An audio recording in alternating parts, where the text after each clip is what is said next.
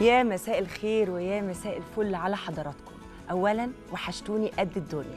ثانيا مبسوطة جدا جدا جدا إن إحنا رجعنا لحضراتكم مرة تانية في يحكى أن بمواضيعنا المختلفة بكتبنا المتنوعة بكتابنا المحترفين بأحداثنا الثقافية المهمة اللي بنحاول على قد ما نقدر إن إحنا نسلط عليها الضوء وننقلها لحضراتكم.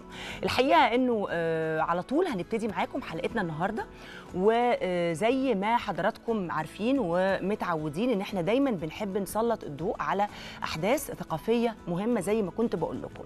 آه، من ضمن الأحداث الثقافية المهمة اللي حصلت الفترة اللي فاتت إنه الحقيقة في مجموعة جميلة كده من الشباب آه، قرروا إن هم آه، يختاروا إحدى المطبوعات واختاروا مطبوعات للراحل نجيب محفوظ. عايزين يعملوا إيه في المطبوعات دي؟ عايزين يغيروا الأغلفة بتاعتهم أو بتاعتها.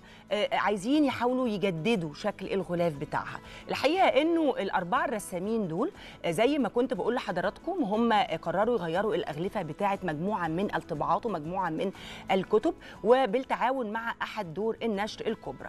الحقيقة إنه الموضوع ده في ناس تقبلته بال آه، يعني إن هم وافقوا عليه وفي ناس شافوا إنه لأ يعني ده مش من حقهم. في ناس أيدت وفي ناس عارضت. طيب عملوا إيه ال- الأربعة الرسامين الفنانين دول؟ قرروا إن هم آه، آه، يعملوا ندوة في دور النشر دي علشان يقدروا يتكلموا عن الفكرة بتاعتهم ويطرحوا وجهة نظرهم في الموضوع. وزي ما قلت لحضراتكم كان في ما بين مؤيد وما بين معارض. والندوة دي اتعملت في دور النشر اجتمع فيها كثير من المثقفين ومن القراء ومن آه، آه، الشخصيات المهمة في عالم الكتاب.